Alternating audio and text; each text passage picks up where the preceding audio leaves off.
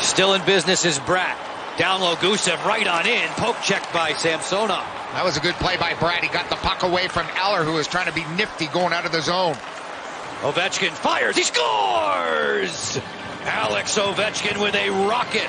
And Blackwood doesn't even know where the puck is. A three on two. Ovechkin, Eller, back to Ovi, who moves to the middle and just fires it.